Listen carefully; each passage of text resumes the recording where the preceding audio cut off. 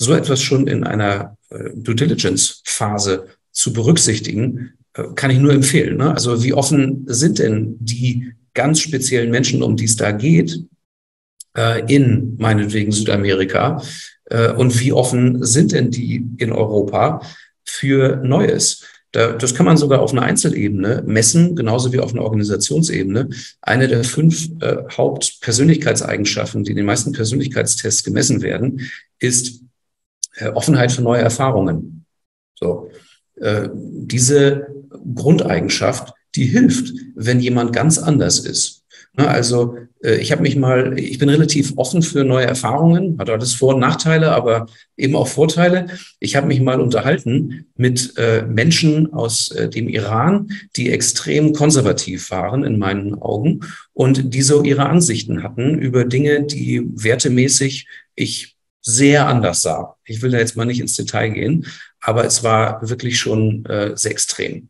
Und äh, ja, da haben die äh, so ihre Dinge von sich gegeben. Und mich hat äh, die Neugierde auf diese Andersartigkeit im Gespräch gehalten. Und wir haben ein sehr schönes Gespräch gehabt. Ich habe viel mehr darüber verstanden, wie man Dinge so völlig anders sehen kann als ich und habe darin auch einen Wert erkannt. Meine Werte haben sich nicht grundsätzlich geändert, aber ich habe eine, eine Verbindung äh, mit ihnen zusammen schaffen können. Ja, das ist auch die Idee heute, dass wir ganz unterschiedliche Wert, äh, ganz unterschiedliche Sichtweisen mal zusammenbringen. Jetzt äh, gebe ich gleich an Herrn Herzog. Herr Herzog, Sie haben die Hand gehoben. Ja, vielen Dank. Ja, danke, Herr Timmermann, für die interessanten Ausführungen. Ähm, ich, ich bin auch, ich bin angestellt bei der Firma Lohmann. Ähm, wir sind ein Familienunternehmen, deswegen ist gerade diese Themen, wie äh, was die Sie angesprochen haben, für uns auch äh, ganz, ganz wichtig. Und wir sind da auch schon so ein bisschen tiefer eingestiegen. Und ähm, Sie, Sie werden es dann wahrscheinlich wissen, Herr Timmermann, ähm, man kann ja die Frage stellen, ob jetzt da die eine Organisation im Sinne von der Organisationstheorie Luhmann, ja, ähm, ob ich das überhaupt diesen Change von außen, wenn ich einen M&A mache mit Rechtsanwälten und Steuerberatern und anderen Beratern, die außerhalb einer Organisation stehen, überhaupt den Change managen kann. Also nach Luhmann ist das ja grundsätzlich sehr schwierig, vielleicht sogar unmöglich. Ja. Und ähm, wenn, das, wenn ich das dann zu, zu positivistisch oder konstruktivistisch angehe, was wozu eben aus meiner Sicht Rechtsanwälte oder Berater neigen, also dass sie es mathematisieren wollen, weil das vielleicht auch irgendwo erwartet wird, Stichwort Professionalität, was man darunter versteht, frage ich mich halt, ähm, ob das überhaupt möglich ist, dass durch den M&A-Prozess, so wie er heute von externen Fachleuten gemanagt wird, dieser kulturelle Change, den Sie ja auch wollen, ich auch, ähm, und dass das ein Erfolg wird zwischen Menschen, ob das überhaupt möglich und denkbar ist. Ja. Also erst eine Pessi ich muss sagen, ein bisschen eine pessimistische Sicht, die ich da habe, aber ich wollte mal Ihre Meinung dazu hören.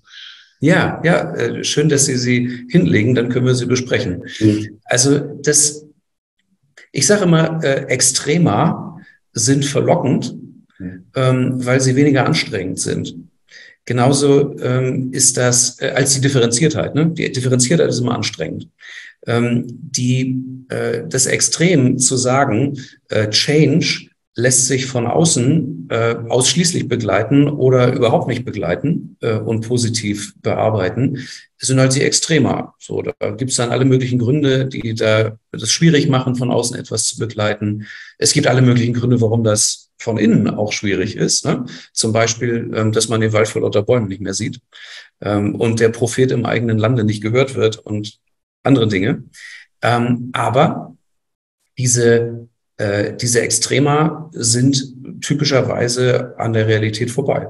Das heißt, es braucht beides. Wir arbeiten sehr, sehr gerne mit Menschen aus der Organisation, mit der wir arbeiten, äh, zusammen und machen das Ganze ko-kreativ. Da gibt's dann äh, Dinge, die von außen herangetragen werden, wie zum Beispiel Erfahrungen aus anderen Organisationen, wie zum Beispiel die Kapazität, so etwas überhaupt zu tun, wie zum Beispiel Methoden, ähm, Erfahrungswissen, ähm, Qualität auch. Also man, man hat nicht unbedingt äh, sehr, sehr fitte Leute für jedes Spezialgebiet auch im eigenen Unternehmen da und auch eine gewisse Unabhängigkeit, die eine Ruhe und eine ähm, Freiheit und eine Lockerheit, ein etwas Kontaktvolles hereinbringen können, die von innen schwierig sind. Und von innen kommt dann äh, häufig dieses Spezialverständnis der Organisation, die Zusammenhänge, die ähm, in Jahrzehnten gewachsenen äh, sozialen Strukturen und ähnliches, die man nicht einfach so mathematisch analysieren kann und dann glaubt, sie zu verstehen. Und, und viele andere Dinge auch. So, und dieses miteinander zu verbinden und da ein Team zu schaffen, das ist letztlich äh, die, die Kunst darin. Und das versuchen wir, wenn wir reingeholt werden und das heißt, wir wollen das an Sie delegieren, dann äh, gehen wir rückwärts wieder raus. Herr Sundermann, jetzt, äh, Sie haben die Hand gehoben, werfe ich den ja, Ball an genau, Sie. Genau, ich wollte eigentlich nochmal aufgreifen und zwar einfach auch das Angebot zumindest. Ich glaube, es gibt da genug Anwälte draußen, äh, wo sie sagen, äh, wir kommen das ja eher aus dieser technischen, technokratischen Sicht, die möglicherweise auch für Probleme der Stimmung im Prozess sorgen. Ähm, das eine Thema ist, wir kommen nicht ganz umhin, weil sie brauchen das haftungstechnisch und sie brauchen diese Arbeiten. Aber ich glaube, diese Zusammenarbeit, wie mit Herrn Timmermann, der uns möglicherweise mal sensibilisiert, äh, und wir auch klare Guidelines bekommen, was fragen wir denn? Wie gehen wir auf Leute zu? Äh, wir führen zum Beispiel auch sehr lange Diskussionen, wer sitzt auf der Gegenseite? Wie wird so ein Kaufvertragsentwurf, den ich rüberschicke, empfangen? Ist das dort eher sagen wir, das hanseatische Handschlag oder eher so eine Basarverhandlungsatmosphäre, die erwartet wird?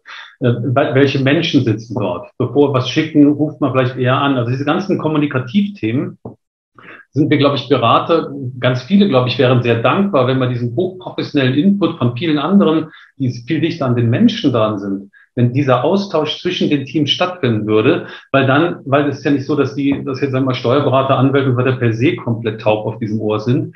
Nur, ich glaube, wir kriegen teilweise auch gar nicht genug Input. Vielleicht fragen wir auch nicht genug nach äh, um sicher zu gehen, dass durch die Art und Weise, wie wir einfach nur sauber, brav abarbeiten, aber nicht möglicherweise Störfeuer ähm, ähm, und, und, und Sand ins Getriebe, äh, Getriebe streuen, ohne es zu wollen zu merken. Und deswegen diese Interdisziplinarität des Teams, und deswegen finde ich es auch so spannend, dass wir diese Runde hier haben, ähm, dass man eben sich mehr zusammensetzt, weil die, die Themen sind alle miteinander verwoben und der Entscheider muss am Schluss alles zusammenbringen. Und aber je besser wir schon in der Zusammenarbeit gebündelte Ergebnisse liefern, auch auf diese Soft-Faktoren Rücksicht nehmen, und dann sagen, vielleicht lasse ich jetzt das juristische Thema einfach mal weg, das ist jetzt irrelevant, aber da trete ich dem anderen auf die Füße, der hat keine Kapazität mehr, bevor der sauer wird, dann lassen wir es eben weg und kriegen wir es für die Garantie nicht auch gut hin, dann lässt man eben fünf Grade sein, hat das Thema erledigt.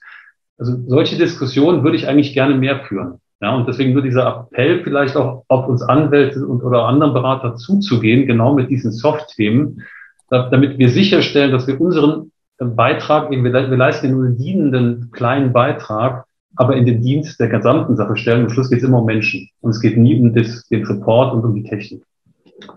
Ja, Herr Sundermann, ganz herzlichen Dank.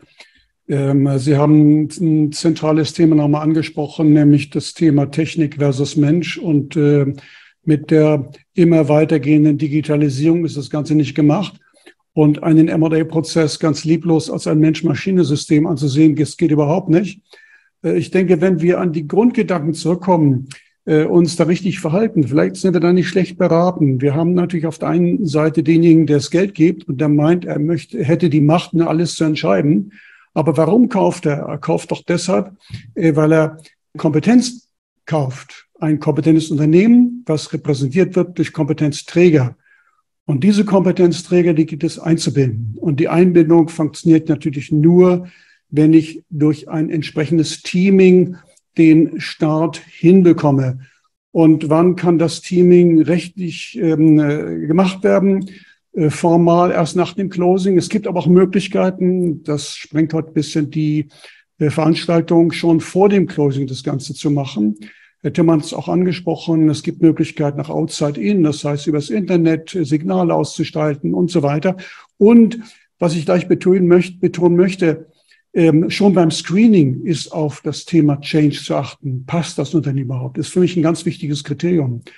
Und äh, Sie haben es vielleicht in meiner Folie gesehen, dass äh, die, dieser Change-Prozess, den ich reingemalt habe, der längste ist. Ich sehe schon beim Screening eine Notwendigkeit und ich sehe die Notwendigkeit auch über das formale Ende hinaus weil wenn ich das dann mit dem formalen Ende als beendet ansehe, ist das Risiko viel zu groß, dass plötzlich wieder alte Seilschaften nach vorn kommen, dass der Käufer äh, das Ganze dominiert und äh, dass äh, dieses Teaming dann wieder verloren geht. Also insofern Ähm, ich habe ein kompliziertes Bild gezeigt, aber dieses Bild äh, versucht ja die verschiedenen Aspekte mit zu integrieren.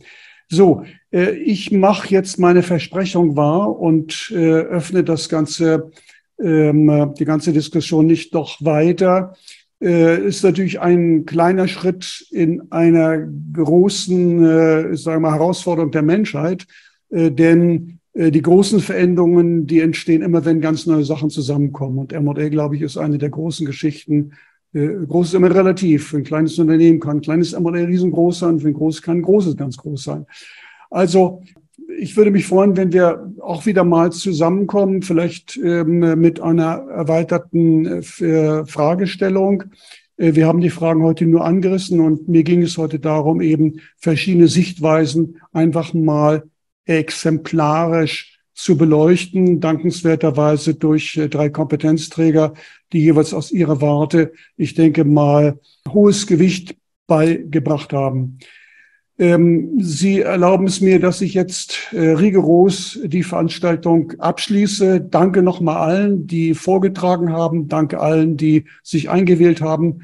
Und viele, die sich nicht eingewählt haben, die haben dann noch die Chance, dem die Aufnahme dann produziert ist, dass wir sie verbreiten. Und ich bin sehr dankbar, dass sich sehr, sehr viele angemeldet haben. Insofern hoffe ich mal, dass das, was wir hier gemacht haben, auch einen großen Impact hat und ähm, äh, nicht immer ist das Ende einer